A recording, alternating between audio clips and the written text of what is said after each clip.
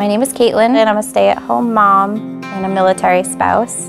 For me, a big priority as a mom is to make sure that my children are protected. Because when I am alone, I do feel vulnerable. We were looking for a do-it-yourself solution. We wanted something that we could self-install and we could take wherever the military sends us. From start to finish, it probably took us about an hour to set everything up. The system is fantastic. No drilling is needed. I looked at all of the options for other systems and Ring was the best financially.